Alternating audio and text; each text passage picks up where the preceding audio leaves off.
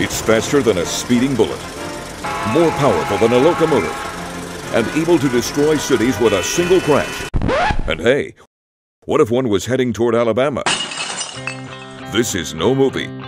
WAAY 31 First News explores the odds of a real asteroid Armageddon happening and introduces you to the local man with a plan to protect us from a collision course. Monday on WAAY 31 First News at 10.